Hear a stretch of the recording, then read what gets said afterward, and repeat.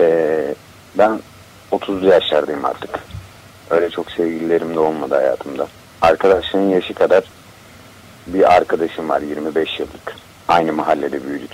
Ve ben son bir aydır bu kişiye karşı duygularıma hakim olamamaya başladım. Kalmayı tercih ettim. Söylersem gideceğim, söylemezsem kalacağım. Saçma bir durumda. Kendime de yakıştıramıyorum bu durumu. 25 yıllık arkadaşım dediğin insana bir şeyler hissetmesi bilmiyorum. Söylesen kaybedeceksin. Net bir cevabı da bilmiyorsun. Karşı tarafın vereceği cevabı da bilmiyorsun. Ama kalıyorsun. Söyleyemeden kalıyorsun. Olmuyor Ne yapsam olmuyor bu kaçıncı Ayrılık akşamı duvarda Asılı resminle bir benden Bir sen geçiyor